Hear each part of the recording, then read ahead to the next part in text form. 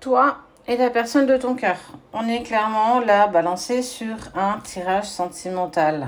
Allez, on y va. Si tu souhaites le découvrir, tu restes avec moi, sinon tu swipes. Et arrête de te plaindre, de dire que jamais rien n'arrive. Tu es actrice ou acteur de ta propre vie, tu n'es pas spectatrice. Si tu te positionnes en tant que spectateur, clairement, rien ne se positionnera pour toi dans ta vie. C'est comme 1 plus 1 égale 2, tu vois, c'est la même chose. Donc, tes complaintes, pour certains, ne prenez pas pour vous personnellement, mais certains qui viennent mettre des complaintes, oui, ça n'arrive pas, je ne comprends pas, bah, à un moment donné, mets aussi des choses en place pour toi pour que les choses se produisent. N'attends pas que les choses tombent du ciel, ça saurait. Si en étant assis, tout te tombait dans la bouche sans que tu n'aies rien à faire. Clairement, la vie, c'est pas ça. Clairement pas. Bref, allez, on y va pour toi qui as envie d'en savoir un peu plus sur ce tirage. On voit qu'il va y avoir des compromis avec la personne de ton cœur. Je ne sais pas à quel stade tu en es, mais en tout cas, s'il y a des compromis, c'est qu'il y a quelque chose qui ne fonctionne pas véritablement. Une femme. Ok. On est plus sur une énergie féminine. Alors, soit toi, en fonction de comment tu te positionnes, femme ou homme, a beaucoup de difficultés à se délester de tout ce qui est racine, de tout ce qui est en lien avec la famille. Je n'arrive pas à passer à autre chose.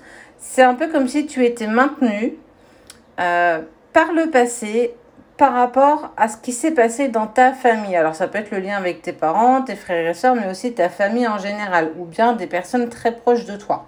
On voit que cette situation familiale te bloque incroyablement ou bloque la personne de ton cœur. On peut clairement être aussi sur la personne qui est dans ton cœur.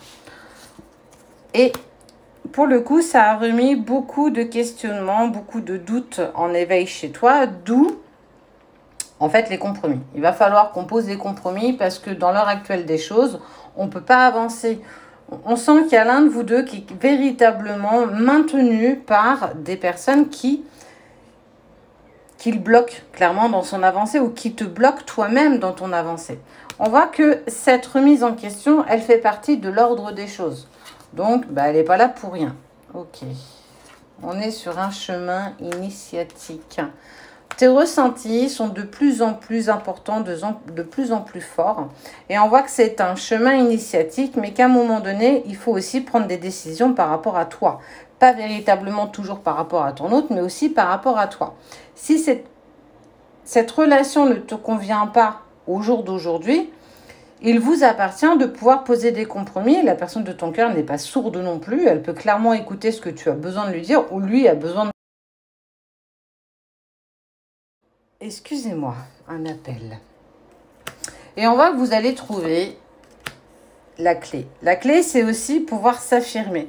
Il va falloir, pour la personne qui est ambigu au niveau de sa relation amicale, familiale, en tout cas ce qu'il maintient encore dans le passé, qu'il n'arrive pas à dépasser, parce qu'on voit qu'il n'arrive pas à faire le deuil de quelque chose, on voit bien qu'il va pouvoir essayer d'avancer par rapport à lui-même.